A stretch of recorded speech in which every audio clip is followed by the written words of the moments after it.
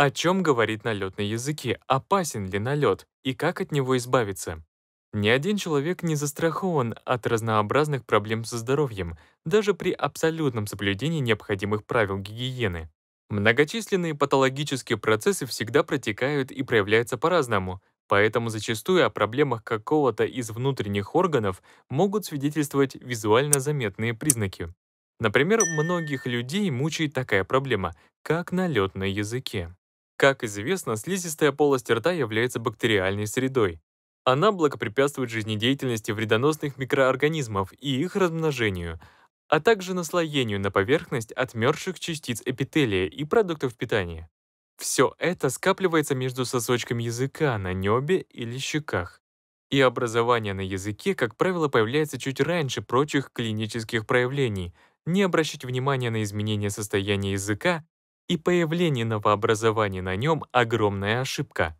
Каким может быть налет, Почему он появляется и на что указывает? Существует несколько классификаций налета, возникающего на поверхности языка человека. Иногда он может не иметь никакого отношения к заболеваниям, а иногда сулит о серьезных осложнениях, нарушении работы органов. Чаще всего налет — физиологическое явление, не являющееся предвестником патологии. Он образуется по банальным причинам — нерегулярность соблюдения правил гигиены зубов и полости рта — злоупотребление пагубными привычками, курение, алкоголь, гипосоливация, изменение структуры и количества слюны, недостаток жидкости. Такой тип налета стабильно замечается по утрам из-за развития бактериальной флоры в ротовой полости во время сна. Слюна активно борется с бактериями и препятствует их размножению, но при ее дефиците патогенные бактерии быстро распространяются. Безобидный налет характеризуется бледным оттенком желтого или белого цвета, прозрачностью, отсутствием резкого неприятного запаха.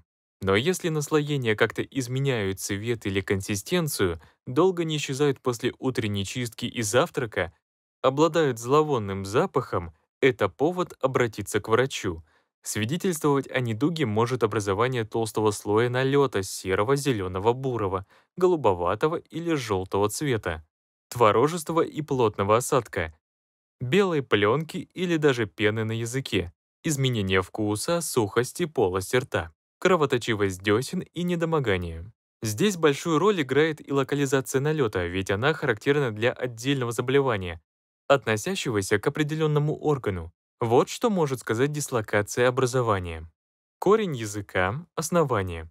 Это местоположение может говорить о проблемах работы кишечника, к примеру, засорение толстой кишки шлаками и токсинами. Края корня сулят почечными нарушениями. Если треть языка, начиная с основания, покрыта налетом, то это может стать симптомом воспалительных процессов горла, носоглотки и легких, часто признаком бронхита. Середина языка.